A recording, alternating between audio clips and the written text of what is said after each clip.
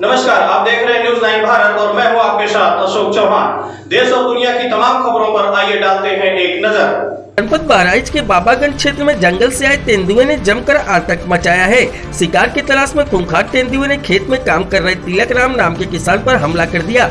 किसान के चिल्लाने की आवाज़ सुनकर आसपास के खेतों के लोगों ने किसी तरह से किसान की जान बचाई। तेंदुआ अब किसानों के खेतों में दिखाई पड़ रहा है। इसे देखने के बाद खेती करने वाले किसान और आसपास के ग्रामीण दहशत में हैं। तेंदुए के हमले के बाद मौके पर पहुँचे वन क्षेत्र अधिकारी अनूप वाजपेयी ने बताया कि तेंदुए को पकड़ने के लिए एक्सपर्ट टीम बुलाई जा रही है। शीघ्र ही तेंदुआ पिंजरे में कैद किया जाएगा। अनस तारीख की रिपोर्ट। साथ में। अरे बाग साहब पटिक दिया गेहूँ पी ले रहे। और झपटा पटिक दिया।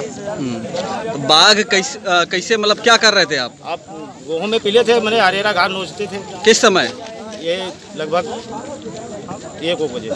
एक बजे? मतलब गाँव से आए थे खेत में काम देखने के लिए? हाँ बर्ची निकालने आए थे। अच्छा। तो आपको पटक दिया? क्या था बच्चा था? बच्चा नहीं था अधौछा है साहब। अच्छा। हाँ। क्या है मतलब? तेंदुआ है क्या है? हाँ तेंदुआ है। काला काला डढ़हरी है हाँ। और लाल है। अच्छा अच्छा। जिसके खेत में है वो लाही के खेत में जा रहा था घास वास काट के। तो उसको दिखा है उस आधार पर जो है लाही के खेत के चारों ओर से मतलब बैरिकेटिंग की जा रही है।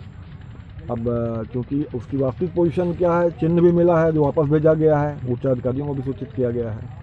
तो अब ये है कि चारों तरफ़ से उसको मतलब निकलने का रास्ता अगर कहीं से मिलता है तो ठीक है नहीं मिलता तो हम तो अपने जाल और नेट बॉक्स को पकड़ने की कार्रवाई करेंगे उम्र कितनी होगी लगभग? बच्चा है ज़्यादा बड़ा नहीं है डेढ़ सौ दो ढाई साल का है। क्या इसके लिए कोई आशंका जताई जा रही है? उसकी माँ की भी आसपास होने की है संभावना? नहीं बच्चा है अब कैसे आया ये तो स्पष्ट नहीं है लेकिन अगर है तो आसपास हो भी सकता है। इसीलिए तो दूर ग्रामवासियों को दूर दूर रहने की सलाह दी जा रही है क्योंकि चारों ओर खेते खेत तो सारा एरिया ओपन है। इसलिए खतरे की आशंका को देखते हुए तो लोगों को यहाँ से दूर हटाया जा रहा है। जो घायल हुए हैं, उसके संबंध में, आपके विभाग के, क्या उसका कोई सूचना दे दी गई है, उसमें अगर जैसा नियम होगा नियमानुसार कार्रवाई की जाएगी।